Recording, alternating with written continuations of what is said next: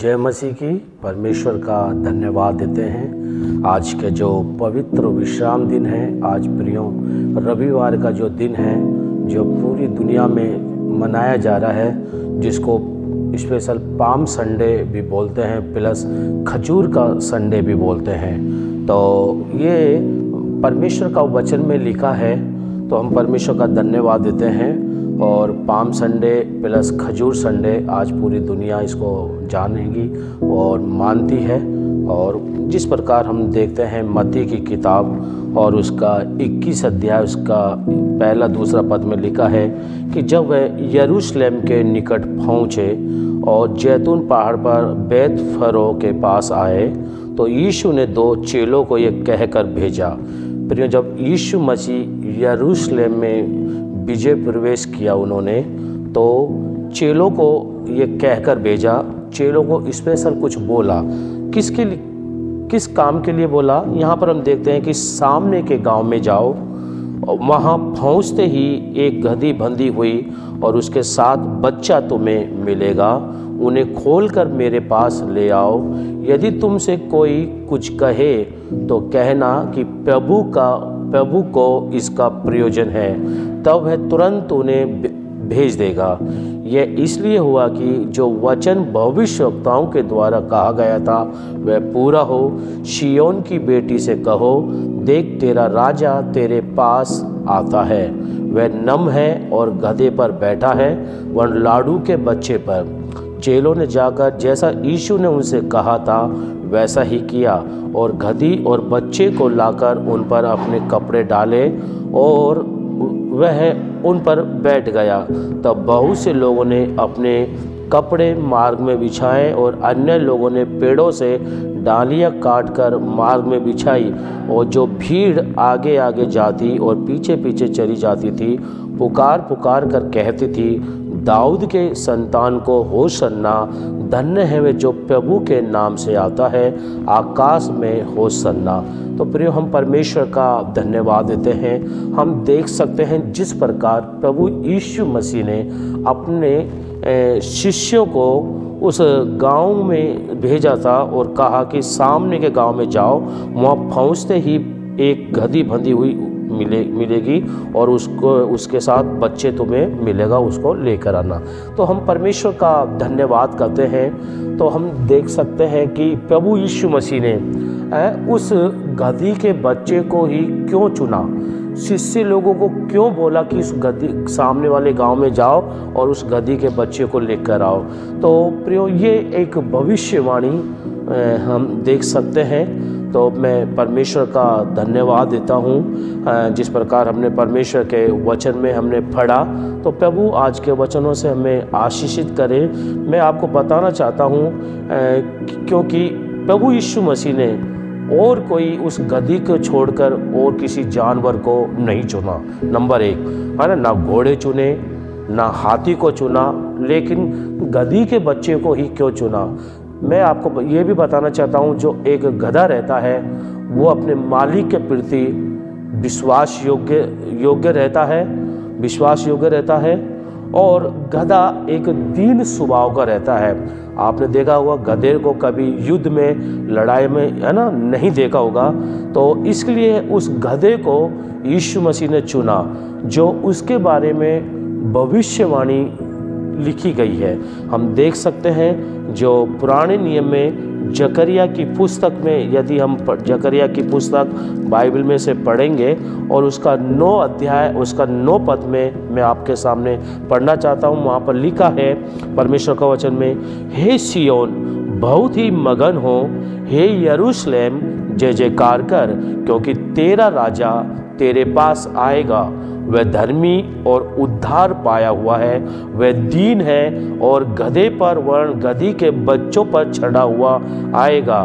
मैं प्रेम के रथ और यरूशलेम के घोड़े नष्ट करूँगा और युद्ध के धनुष तोड़ डाले जाएँगे और वह जाति जाति से शांति की बातें कहेगा। वह समुद्र से समुद्र तक और महानंद से पृथ्वी के दूर दूर देशों तक प्रभुता करेगा। तो हम इस जकरिया की जो पुस्तक, उसका नौ अध्याय, उसका नौ पद में हम देख सकते हैं। यहाँ पर यरूशलेम जय जयकार कर, क्योंकि यीशु मसीह प्रियो, आज के दिन यरूशलेम में वो आया और प्रवेश किया और लिखा है, क्योंकि तेरा जो राजा तेरे पास आएगा, तेरा राजा तेरे पास आएगा, वह राजा कौन है? वो धर्मी है। वो राजा यीशु मसीह धर्मी है, वह उद्धार पाया हुआ है और नंबर वन वो दीन है। ठीक है, दीन दीन है। तो जिस प्रकार हमारा प्रभु यीशु मसीह दीन है, इसी प्रकार हम उस जानवर के बारे में भी देख सकते हैं, जो गधा होता है, वो दीन स्वभाव का था। इसलिए प्रभु यीशु मसीह ने उस गधे को क्या करा? चुना था। ठीक है? गधे पर वर्ण गधी के बच्चे पर चढ़ा हुआ आएगा। और जिस प्रकार प्रभु यीशु मसीह ने शिष्य लोगों को सामने के गाँव में उन गधी के बच्चों को लाने के लिए भेजा, बोला था और वो लोग लेकर आए। तो गधा जो रहता है, वो ईमानदार रहता है, अपने मालिक के प्रति वफादार रहता है, विश्वास योग्यता के साथ रहता है तो हम परमेश्वर का धन्यवाद देते हैं। और परमेश्वर प्रियो, हम आज के इस वचन से हमें आशीषित करें। उसके बाद हम देखते हैं कि जिस प्रकार तीस तीसरा पद में लिखा है कि यदि तुमसे कोई कुछ कहे तो कहना कि प्रभु को इनका प्रयोजन है, और तब वह तुरंत उन्हें तुम्हारे लिए भेज देगा। और यह इसलिए हुआ कि जो वचन भविष्यवक्ताओं के द्वारा कहा गया था, वह पूरा हो। ये इसलिए हुआ, जो वचन पुराने नियम में हमने देखा, जकरिया की जो किताब नौ अध्याय उसका नौ, जो भविष्य वक्ताओं के लिए बोला द्वारा बोला गया, ये वचन क्या हो? पूरा हो।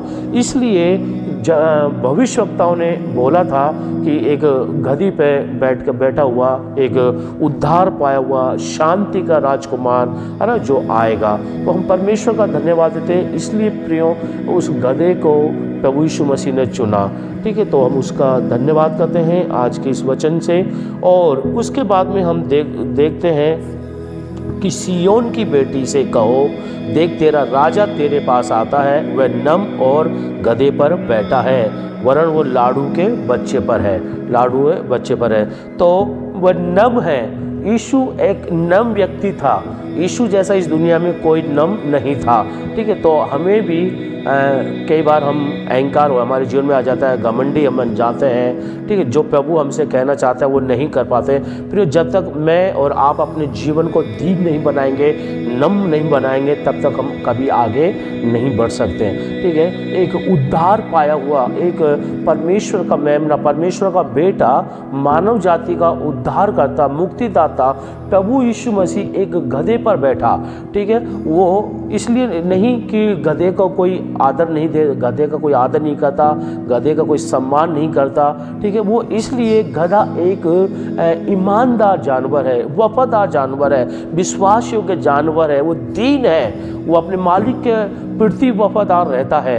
तो जिस प्रकार प्रभु यीशु मसीह अपने पिता के वफादार था, पिता के योग्य वफादार था, ईमानदार था, विश्वास योग्यता के साथ था और वो उद्धार पाया हुआ था, लास्ट में परमेश्वर ने उसको बढ़ाया और वो नाम दिया जो सब नामों से श्रेष्ठ है। तो धन्यवाद देते हैं आज के दिन जो आज के पवित्र विश्राम दिन में पालम संडे को मनाया जा रहा है और विशेष करके खजूर संडे भी मनाया जा रहा है। क्योंकि यीशु मसीह यरूशलेम में विजय प्रेस किया उन्होंने और मैं धन्यवाद देता हूँ। यदि आपको हमारी ये वीडियो पसंद आई है तो उसको लाइक करें और साथ साथ शेयर भी करें। Thank you God bless you धन्यवाद.